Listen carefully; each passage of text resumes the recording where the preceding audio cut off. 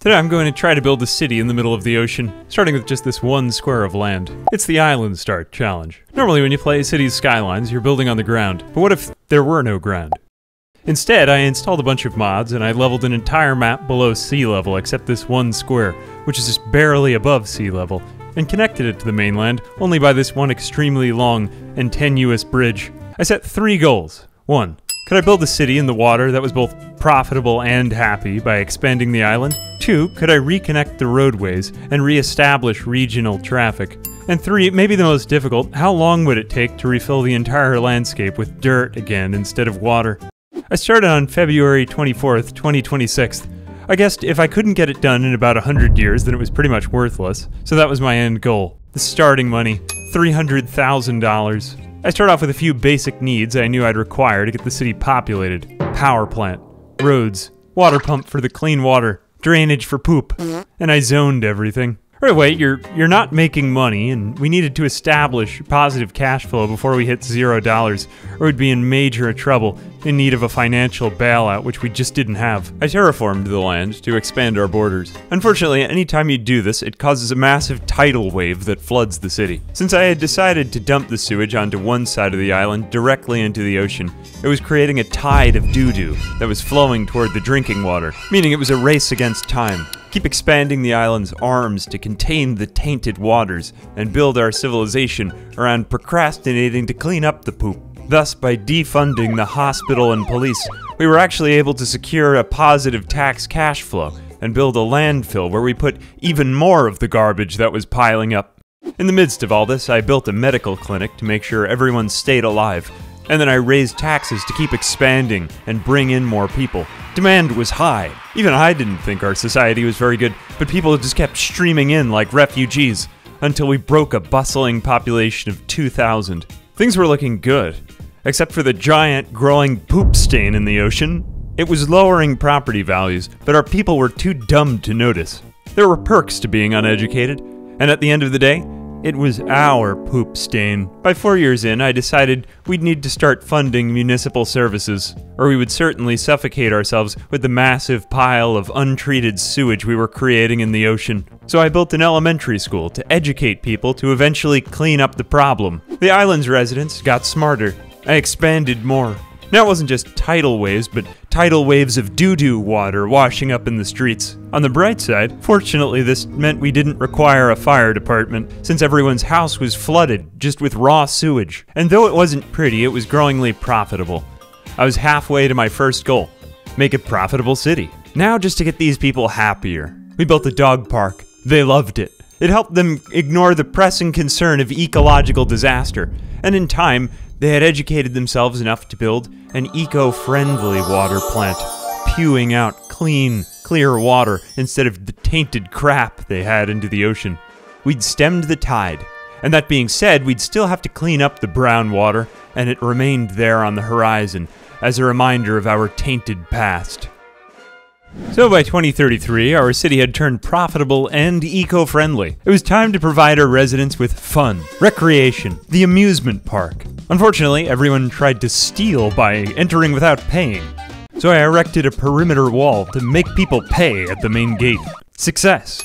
Demand and property values soared in nearby districts. The citizens were happy, the poop was moving away from our shores, and the amusement park was fun. And so, with the seed of a sustainable civilization planted, I began gradually expanding the island in a slow grind toward completely filling the ocean with dirt.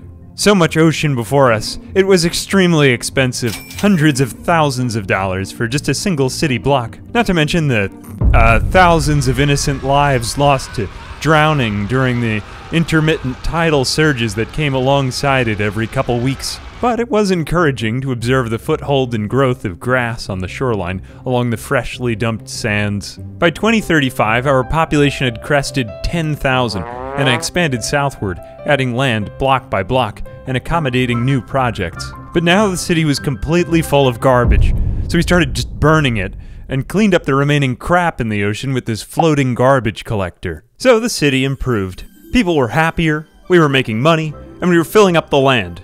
It was kind of a grind, but what about connecting the highways? Well, it turned out we had to pad those with a landfill too.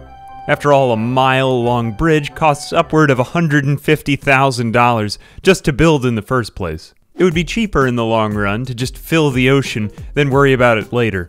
So I raised the land and unintentionally knocked out some drivers because it turned out I had accidentally terraformed over one of the Earth's elusive blowholes, a point at which the planet pews out water into the ocean.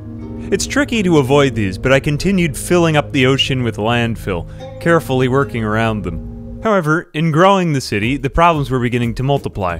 Growing our population, for example, had made traffic unmanageable. So finally, once we had brought down the highways from up in the air and onto the ground, I decided to address the traffic problem in the city entrances. I burrowed down into secret tunnels from the highway exits to let traffic into the other parts of the city, fixing the traffic jams, but also making us extra vulnerable to the constant intermittent flooding underground and nonsensical dangerous intersections. But as the problems multiply, our tools grew. Now we're making nearly $40,000 a week in taxpayer money, so that after 22 years of terraforming, we had reached out our landmass to touch the north border of the square that our city inhabited. An exciting milestone, but along with the growth came another problem. The power demand was getting so high that natural gas was no longer scaling effectively to meet the city's needs. The solution was nuclear power plants, unstable and liable to blow up at any time, and right in the middle of one of the most populated and commonly flooded areas filled with innocent people at work. For all those drawbacks, the city did start to produce a surplus of power, slashing citizens' energy bills, raising demand, and necessitating the link up of yet even more highways with a nice cloverleaf intersection, weaving together the underground and overground roads. Then I took a moment to just step back and admire the city. So much progress we had made from an embryonic square to this churning terramorphic expanse. Landfill. Landfill. Landfill. Something blew up in the nuclear power plant, so we just built another one in the year 2057. As an apology to the residents, I lowered taxes and built the zoo, causing a whole flood of new demand. Then a literal flood because I accidentally caused a tsunami by terraforming like this. It was okay, we had water pumps, and I had finally paved the city into a bona fide grid for smooth traffic flow. At this point in time, I knew it was going to take a while to generate the tax funds required to fill the rest of the ocean with dirt, so I decided to just leave my computer running overnight. And I woke up uh, after another 50 years with $14 million, which it so happens still wasn't enough money, so I had to go out and do some errands while I left it running again. Finally, and that was just about enough money. I checked back on my computer, and we had enough to fill up the rest of the ocean. Another milestone and another goal completed. But I'd waited so long that everyone in town was dead. Or at least, there were a lot of dead bodies lying around. Apparently, some people insisted on being buried in a cemetery rather than the eco friendly route of cremation. So I started building more graveyards to house the dead, but then I ordered them to dig up the dead bodies to the crematoriums to just burn them anyway. We all need to make sacrifices for each other in this society. Otherwise, the city would have eventually just turned into one big graveyard. We aimed to raise efficiency by putting the crematorium next to the graveyard, next to the elder care facility. I think citizens made the implicit connection. It was brutal, but also logistical. With most of the landscape terraformed, the only remaining bodies of water were those needed to empty out the few water blowholes we had discovered into the sea. I connected the dots, forming the backbone of our river system. Now it wasn't stagnant water, but roaring rapids that could safely flush the poop out into the ocean. Back to my original goals. 1. I had terraformed the land. Check. 2. I had connected all the highways, cleared for travel. Check. And 3. My city was now profitable. But no one was happy. Men in balaclavas roamed the streets. 50% of our society had dropped out of elementary school or never attended at all. We had only 69% average health. I lamented the fact that nearly a hundred years had passed, and I hadn't even taken care of anyone. Yes, I mean it was necessary to feed people and secure a brighter future. But I'd built a city that was just a factory to produce money to fill up the ocean and flush away poop. What if our whole civilization was just one big glorified toilet bowl. I mean, there was literally a business called Customer Service Services.